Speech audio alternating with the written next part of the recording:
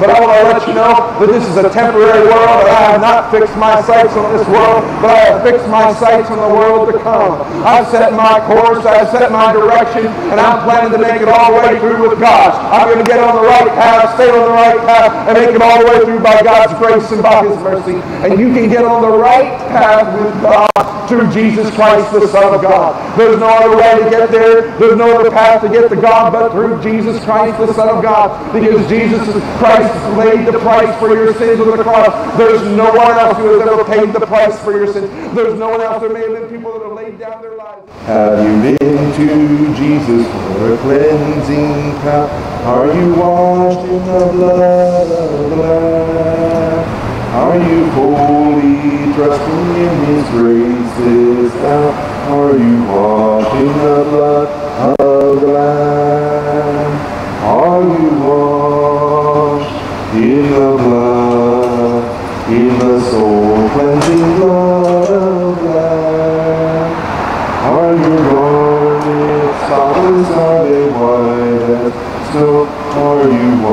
In the blood of Lamb? Are you walking daily by the Savior's side? Are you washed in the blood of Lamb? Do you rest each moment in the crucified? Are you washed in the blood of Lamb?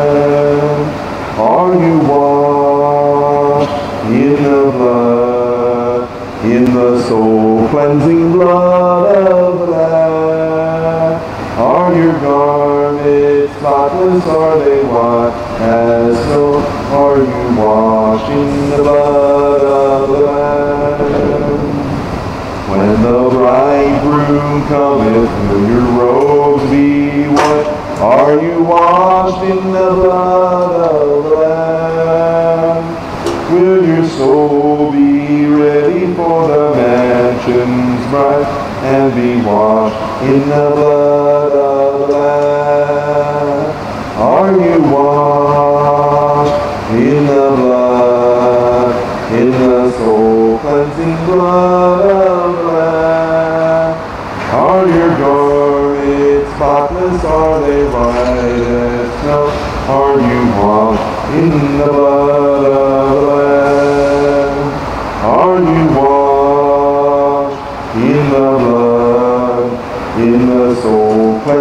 blood of the Lamb?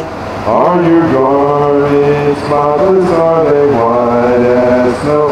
Are you washed in the blood of the Lamb? Are you washed in the blood of the Lamb? Talking about are your sins washed away? Has your heart been changed? Have you been transformed? Jesus can help you to be ready, that your heart can be ready to meet God. And each and every one of us, we need to be ready. We need to be ready. We know not hour in which when He will come, but we need to be ready. Jesus surely is coming one day. I encourage you to be ready. Be ready at all times for Jesus' return. We need to be ready to have our sins forgiven, to come to Him, have our life changed, transformed by His power. He's able to do that for us. He's able to forgive. He's able to cleanse. He's able to wash us. At the we can have our.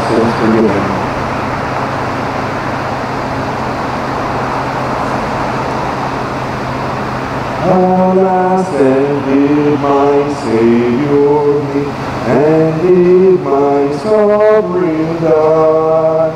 Would he be both now sacred for such a sinner as I?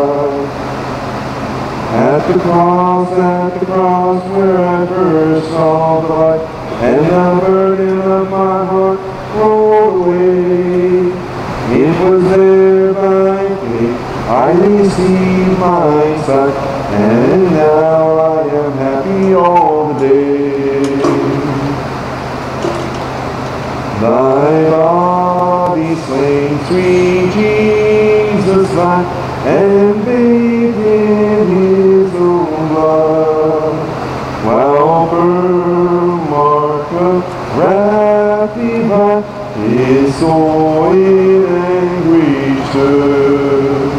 At the cross, at the cross, where I first saw light, and the burden of my heart rolled away. It was there by faith I received my sight,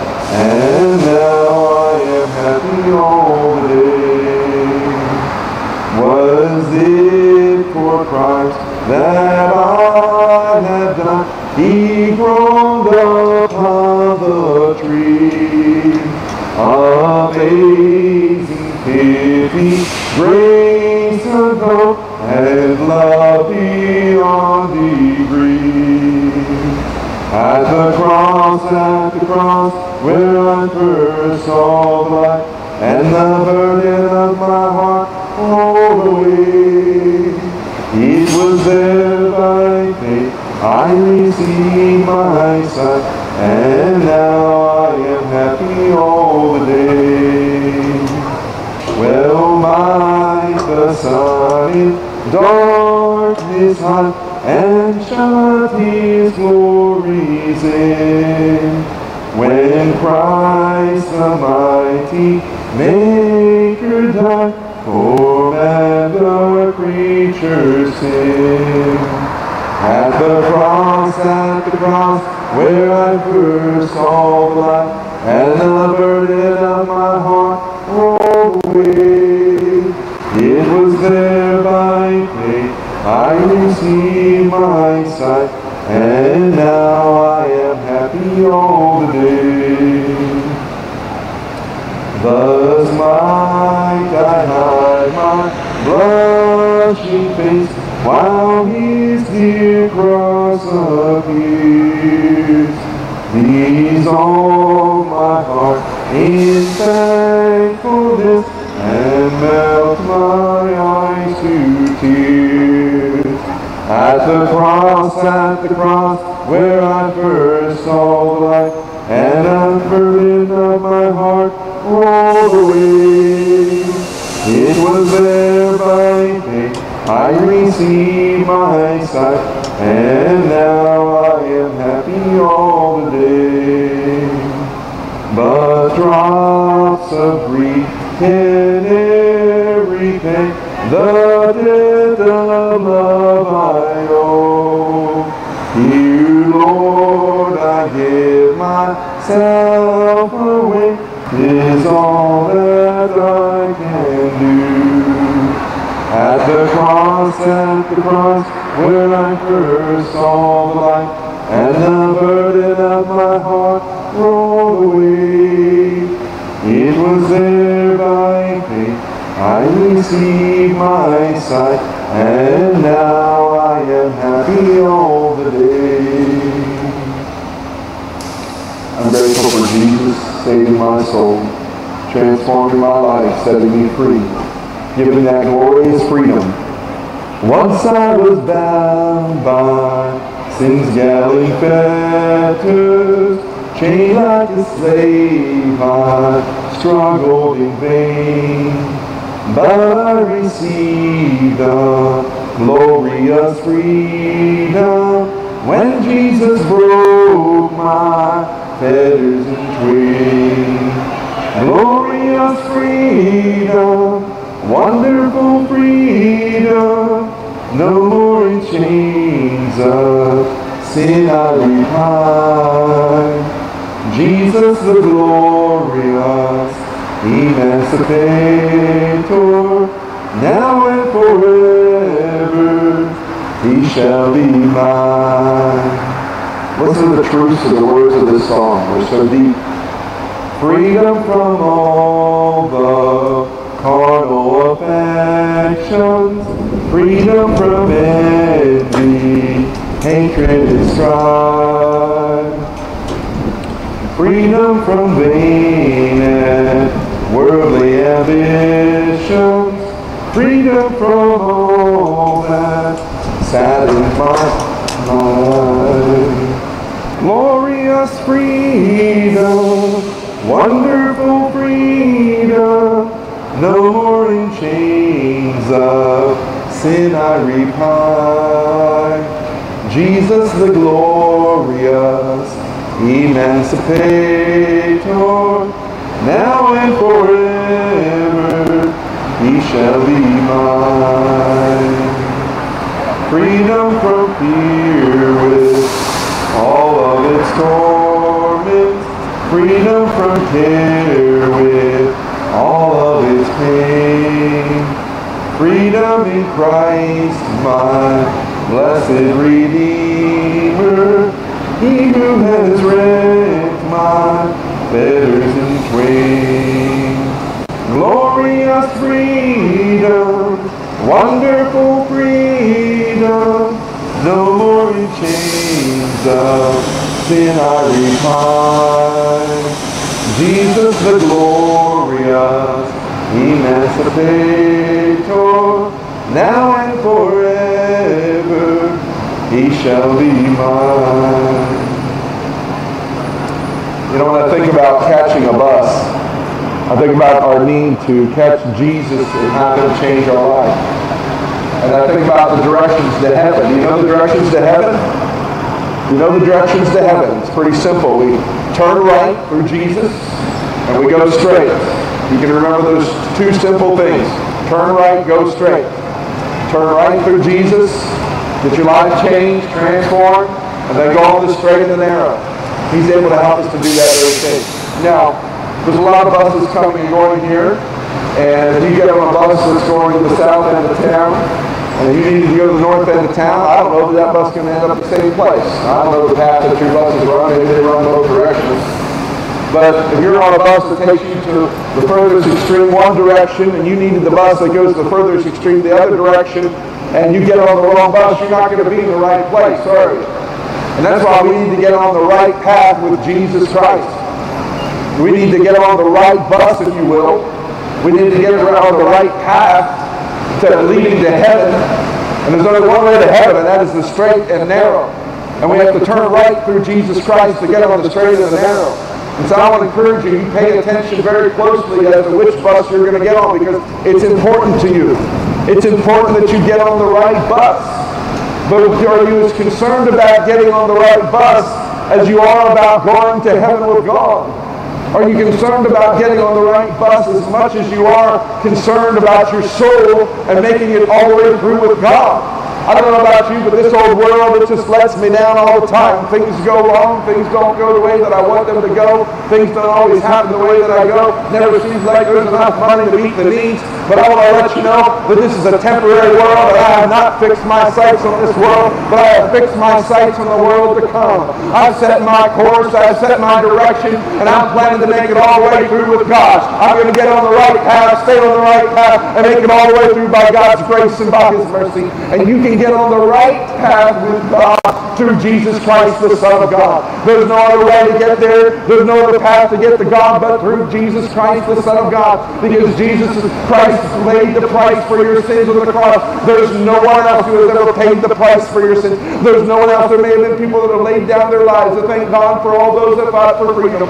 I thank God for all those that have done everything that they could to see that, that I have the life that I have today. I thank God for that. But none of them have died and given their lives that I could make it to heaven.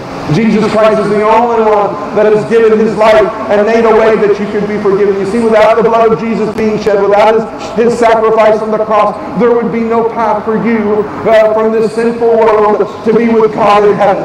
But God has made a path and a plan through his son Jesus that you could be redeemed, that you could be transformed, that your sins could be forgiven. Hallelujah. Don't you get tired of carrying that guilt. Don't you get tired of carrying that burden around saying, oh, I don't want to live this way any longer. I don't want to be in bondage to the alcohol any longer. I don't want to be in bondage to the drugs any longer. I don't want to be in bondage to the cigarettes and the vapor or whatever it is that may bind you. I don't want to be in bondage to that. I don't want to be running around carousing any longer. It doesn't satisfy. All the sex in the world will never give you eternal satisfaction. It'll never give you the thing that you're really looking for, the thing that you need. Only Jesus Christ can set you free. Only He can give you the liberty. If you're looking for happiness, it's only going to come through God. Because all the happiness in this world is short term. It doesn't last. Because something else is going to go wrong right around the corner. But I want to let you know you don't have to live in this world forever. You don't have to live in a place of suffering any longer. But you can get right with God and know where your eternal home is. Because Jesus Christ is able to save to the uttermost. Now many of you, you're hearing this preaching and it's penetrating your heart and you're thinking about the words that I'm saying today. For it is not Rodney that's standing here before you, but it is God speaking through me today. He has brought a message. I've come all the way from Pennsylvania to speak right here at this very bus stop on this day, on this ordained moment by God. You are not here by mistake. You are not here by happenstance hearing the word of God. You are here because God has ordained that you would hear the word of God at least one more time in your life. And you you ought to thank God for his mercy and his love to you. He loves you no matter how far you've gone in sin, no matter whether you've been out of drugs and alcohol, whether you've been out of homosexuality, no matter how far you've gone in sin. I will let you know that God loves you and he loves you so much that he made a way that you could be redeemed. He made a way that you could be set free. But will you take the time to seek God? You've heard the word today. You've heard about Jesus. You've heard about salvation. But are you right with God? If you're waiting for tomorrow to get right with God, tomorrow may be too late. Today is the day of salvation. Today is the day. You can only get saved in the present moment. You can't get saved somewhere, planned date on a future day. Say, well, this day I'm going to get saved. Is that the way it works? Do you know that you can only get saved when God is drawing your heart? And if God is drawing your heart right now, you better take advantage of this moment. Because if God is speaking to your heart right now and you neglect this moment, you do not know that you have another day. You do not know that you'll have another time that God will be drawing on your heart, that God will be speaking to your heart and touching your heart in such a way that you know that you want to get right with God. Do you want to get right with God? Then right now is the time that is God speaking to you. That desire on the inside to get right with God right now is God dealing with you. And I encourage you, pray. You can pray with me. You can pray by yourself. You can pray by your bedside tonight. Remember three simple things. Confess. Confess your sins. Repent of your sins. Number two, repent of your sins and put your faith in Jesus Christ and He will save you. Hallelujah. If you will confess and you will repent, repent means to turn from all of your sins.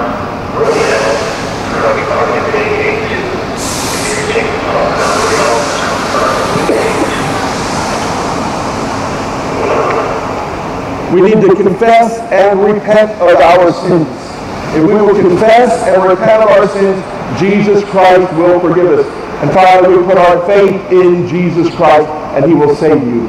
Confess that when we confess, repent, and believe on the Lord Jesus Christ, and thou shalt be saved. Heavenly Father, we pray for every person under the sound of our voice and those who have heard us in the past and have already left. I pray, God, that you would move upon their hearts, change their lives, transform them, give them that, that, that wonderful experience that they can only have through you, oh God. Work with the workers that are here, dear God. Continue to speak to their hearts, oh God. We pray for the Jehovah's Witnesses, Lord, that you would just touch them and help them and guide them, Lord, oh God. Lead them to the path of all truth and righteousness. Those that are involved in other religions, Lord, we pray, God, that they will have a personal relationship with you, God. Oh, Lord, that their lives would be changed and transformed because it's not about what religion belongs to, but it's about whether our heart is right with God. It's about whether our own heart is right with you, Lord. Help us bring that point home to us today, oh God. And Lord, we'll give you praise and glory, the holy and righteous and awesome and wonderful name of Jesus. Glory to God.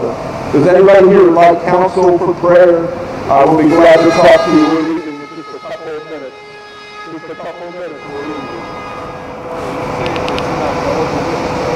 No, sir. Okay? You, you can pray for me. All right, be glad to do that. Have you ever come to a place where you know Jesus forgiving you your sins? I know that Jesus is the Son of God. Good. I am saved. Praise the Lord. How is your uh, how is your uh, walk with God? My walk with God is, is, is rough right now. Yeah, you struggle with sin. Yes, sir. Okay. So that's that's one of the things I want to point out and help you to understand. There's a lot of confusion. There's a lot of churches that teach all kinds of things. This is what we got to know. And this is what's going to hold true before the Lord, not what somebody teaches.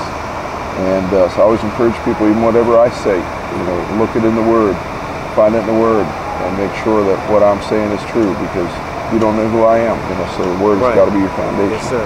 Let me give you a verse of Scripture here, and then we'll have prayer. All right? You have a Bible?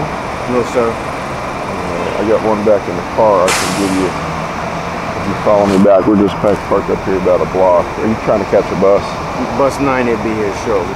Yeah, okay. Let me see if I can send him to get it. Can you go back and grab that blue Bible in the car? Can you go back and grab that blue Bible in the car? You got the key, right? Yeah, okay. Yeah, I got this. Would you mind holding that while I hold the Bible? Right, he's gonna go, how, he's gonna run and get that. But this is the verse of scripture I wanted to show you. This is so important to understand. You know, our salvation through Jesus Christ, and sir. if, if we're living in sin, Yes, sir. then then there's something not right because he, he has a victorious life for us Yes, sir. and he can give us the strength to not live in sin any longer Yes, sir. and so we can get saved but sometimes we turn back by going back to sin and Yes, we sir. need to get it right with god and stay on top again Yes, so in 1 john chapter 3 we go down to verse 9 it says whosoever is born of god doth not commit sin for his seed remaineth in him and he cannot sin because he's born of god so in other words if we're truly born of god we're not going to continue in the ways of sin and, and so he'll forgive us. We repent. We're willing to turn from him. He gives us the strength to turn from sin. And then we keep on serving God. I'm not saying that you won't ever, ever fail God somewhere along the way. But Uh-huh. that should not that should not be the normal case. We should not be living in Right. sin. Yes, If we're, if we're struggling with sin on a regular basis, we need to get saved. We need to get it cleared. So that's what we want to pray about today. Let's pray God will get you clear on your sins, all right? Which my first name's Rodney. What's yours? My name is Rodney. So, well, let's have a word of prayer. Just Yes, simply, I don't need to hear them, but you confess your sins to God. Yes, sir. You tell Him about it, Yes, and then you you have to be willing to turn from those. Oh, yes. All right, and that's called repentance. So when you're done praying, confessing your sins out to God, just let me know, and we'll go on to the next step. All right? Yes, sir. I'll go back to holding this. Heavenly Father, we come to you right now for prayer that you help him to confess all the sins to you, Lord God. That he would confess and admit his sins before you, Lord. Oh God, that you would move upon his heart and help him, Lord, right now. That you would forgive him of his sins, Lord. Help him to be free from every one of them. Just confess all your sins to, to God. Tell him all about it. So, Lord God, I, I failed here. I've sinned against you with this. I sinned against you with this. I confess all my sins to you, God, every one of them. Oh Lord, help him today, Jesus. Help him today, Lord. Help him to confess those sins out to you.